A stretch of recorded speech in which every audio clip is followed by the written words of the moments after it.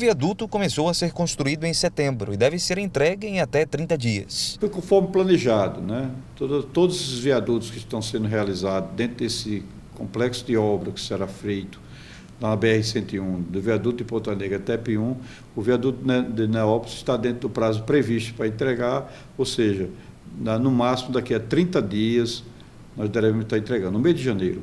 Quem segue pelas faixas principais passará por cima do viaduto, tanto no sentido Panamirim-Natal quanto no sentido contrário. Ainda poderá acessar as marginais e fazer os retornos por baixo do viaduto. Por aqui passam todos os dias cerca de 80 mil veículos. Quando nós liberarmos o Neópolis, todos nós já vamos sentir já que os nossos usuários vão andar com mais conforto, mais economia, com um tempo bem mais rápido de deslocamento. Esse é o primeiro dos seis viadutos que serão entregues pelo DENIT até 2018.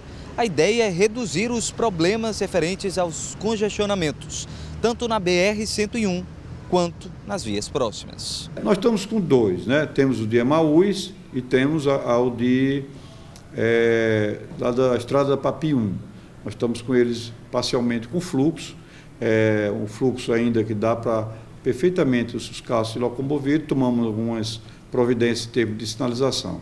Agora, já deveremos iniciar também no mês de abril, provavelmente, ou mesmo até antes disso, então, dependendo dos projetos, tanto da em frente a Maria Lacerda, quanto da Abel Cabral, e bem como o do Parque Aristófanes Fernando em Parnamirim e o da, da Rua Clementino como na Coabinal também em Parnamirim.